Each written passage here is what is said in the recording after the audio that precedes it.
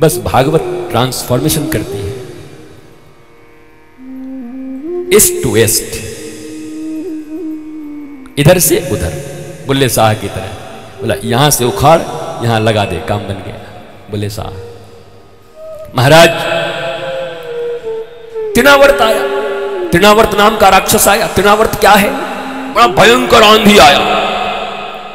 भगवान मैया की गोद में बैठे थे और भगवान ने अपना वज़न बढ़ाना शुरू कर दिया। और भगवान यशोदा कह रही कि अरे बच्चा है कि पत्थर हो गया? इतना भारी क्यों हो रहा? उठा के रख दी बगल में। भगवान तो भगवान महाराज कभी कभी कुछ लीला करे। पाँच टन के बन गए यशोदा। कहाँ रखे? हड्डी टूटने लगी। अरे बोले तो तू, तू, लड़का है कि क्या है? बगल में रख दी। तृणावर्त आया भगवान को ऊपर उठा के ले गया। भगवान हल्के हो गए खूब बढ़िया हुआ। ऊपर ले जाके पटकने वाला था। भगवान ने कहा आओ मामा ने भेजा है? बोला हाँ आओ। मामा वहीं बैठा हुआ था मथुरा में। रोज किसी न किसी आइटम को भेजते रहता था भगवान के पास। छह दिन के थे तो पूतना आइटम भेज दिया। डेढ़ महीने के हुए तो हमारे सकटासुर आइटम को भेज दिया। अब तीन महीने के हुए तो तृणावर्त रोज आइटम भेजता था। अब भगवान ही बड़े खुश होते थे, मामा कितना प्यार करता है नया नया खिलौना भेजता है, चाइना वाला। चाइनीज़ माल आते थे सब। और ठाकुर जी सबका मुंडी मुरेट देते थे, आओ आओ आओ आओ चाइनीज़, आओ। हांगचू हांगचू बाइंगचू बांगचू तीन तीन फुट के रहते हैं चांगचू करते रहते हैं चांगचू चांगचू हांगचू हांगचू बताओ महाराज इंडियन सोल्जर खड़ा हो जाए भारतीय सैनिक सात फुट के खड़े हो जाए कहीं हरियाणा के जाट हरियाणा में जाट कहीं खड़े हो जाए और चाइना के में हाई शुंग फुंग फुंग सिंग फुंग फुंग फुंग इधर आते साई फूंग फुंग फुंग फुंग डोकलाम में याद होगा पाँच हज़ार वर्ष पहले भी इतना सोचने वाला कोई था। तृणावर्त जिसने तुम्हारे शरीर में खलबली मचा दी आकर के। तेरह साल की उम्र के बाद थर्टीन ईयर्स फोर्टीन ईयर्स के बाद खलबली मच जाती है। तृणावर्त धूल से आवृत्त हो जाता है, सत्य दिखाई नहीं पड़ता। नहीं कहते टीनेजर्स कुछ देखते नहीं फिर। ऐसी अंधी दौड़ लगती है, कब कहाँ डूबेंगे कुछ पता नहीं। तृणावर्त का आक्रमण हुआ है। कृष्ण होंगे तो मामला बन जाएगा, नहीं होंगे तो बह जाओगे। रजसा और तमसा पूरे गोकुल में धूल धूल हो गया, आंधी आ गई। दिख ही नहीं रहा है किसी को कुछ। और इस गोकुल में भी यही होता है। तेरह से सत्रह साल की उम्र में ये तनावर्त नामक राक्षस आता है और वासना की ऐसी तूफ़ान और धूल उड़ाता है कि कुछ नहीं दिखता, न माँ दिखते, न पिता दिखता, न धर्म दिखता। दिखता है तो कोई और और श्रद्धा की तरह छत्तीस टुकड़े हो करके और फ्रिज में बंद हो जाते हैं। सनातन धर्म ही है जो तुम्हें बचा सकता है। तुम्हारे प्रज्ञा और प्रबोध ही है जो तुम्हें बचा सकता है। श्री मद, भागवत, श्री कृष्ण की कथा कभी इस एंगल से भी सुन के देखो। There are so many angles nowadays अभी ज़रूरत इस एंगल की है। कभी किसी एंगल की थी, आज इस एंगल की ज़रूरत है। हमें बचना है, हमें बढ़ना है, हमें उठना है, हमें मुश्किलों से ऊपर उठना है, हमें मुस्कुराना है, हमें खिलखिलाना है। तो श्रीमद् भागवत तुम्हें जीवन की कला देती है। बच्चों के साथ आनंदित जीवन जीने का सूत्र देती है। परिवारों में खिलखिलाते मुस्कुराते, आह्लादित पर्व त्योहार मनाते, भगवत भजन करते, सत्तर, अस्सी, नब्बे साल की आयु जब तक मिली है, तब तक मौज में जीने का कला सिखाती है। हाय हाय करके जीना, और वाह वाह करके जीना ये दो चीज़ें जी तो सभी रहे आठ अरब की जनसंख्या है। पर अगर तुम खोजी बनो तो तुम्हारे हृदय छाती फट जाएँगे। दुनिया में इतने दुखी लोग हैं, इतने दुखी। पल पल दुख है उनके जीवन। ये हज़ारों हज़ार की भीड़, भागवत कथा, कृष्ण कथा, राम कथा के पंडालों में कोई अलौकिक कथाओं को सुनने नहीं आती। ये साइंटिफिक व्यासपीठ है, साइंस।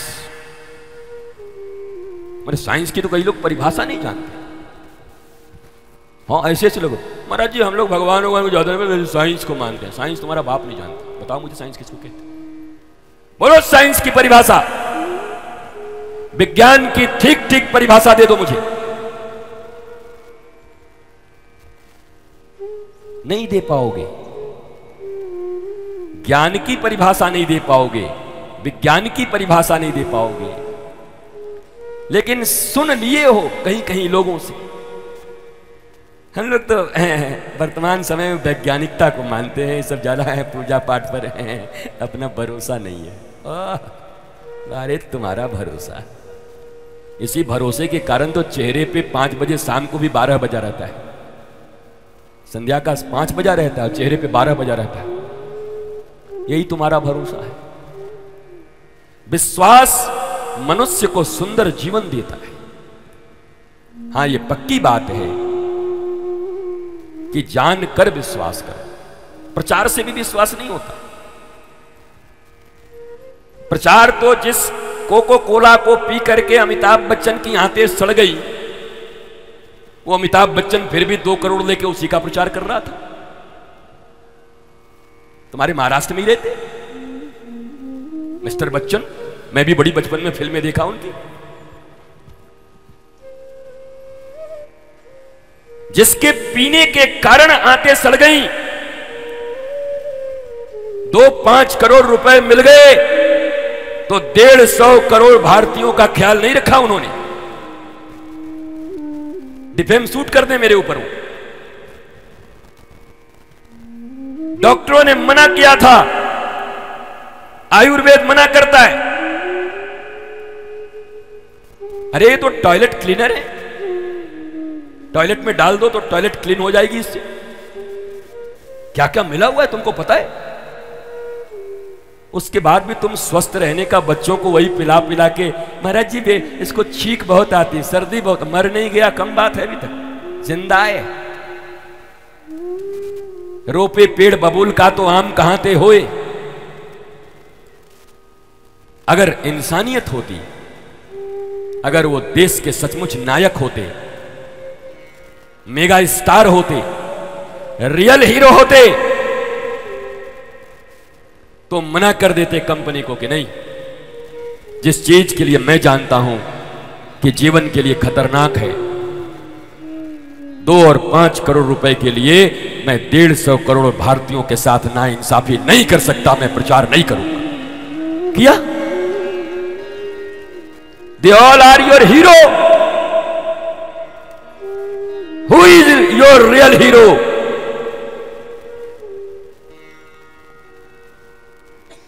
पहले हीरो पहचानना ठीक करो, ज़िंदगी में हीरो है कौन? वो ज़ीरो भी नहीं है, माइनस है।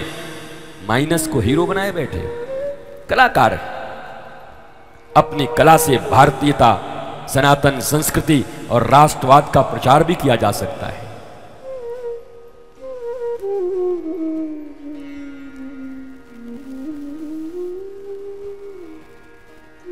इसलिए प्रचार के बल पर कोई चीज़ अगर स्टेब्लिश्ड हो जाए,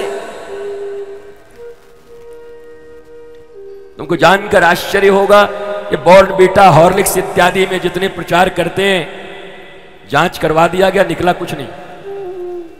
अब तो अपने यहाँ सब राम भरोसे चलता है, पर टीवी पे दिन रात उसी को देख करके बॉर्न बीटा बच्चा ऐसा कर। कुछ नहीं होगा। मैया का दूध पी के जो बच्चा बड़ा होगा अपनी मैया के स्तन से और अपने घर में मोटे अनाज की रोटी और चावल और, और गैया का प्योर दूध और घी खा करके बच्चा भारत का हनुमान जी जैसा बलवान बनेगा महाराज। वो संस्कृति हमारी। ये छाछ भी बेचारे डिब्बे में पी रहे हैं। ये यही अमिताभ बच्चन एक डायलॉग बोला था, मर्द फ़िल्म में मुझे याद है, तब मैंने उसको देखा था। Simon Indian and dogs are not allowed है ये देख इंडियन भी हाजिर है, उसका डॉग भी हाजिर है, और उसका हॉर्स ए बादल, इधर आ, है।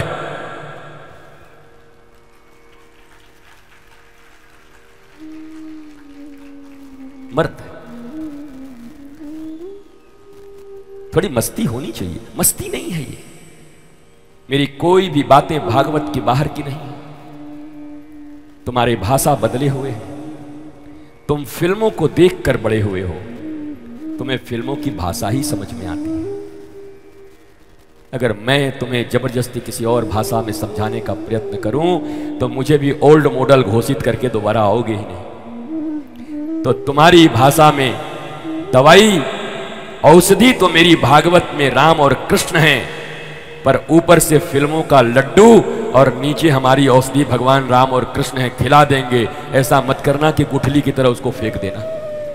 कई लोग यही सब याद कर लेंगे, भागवत छोड़ के चले जाएँगे।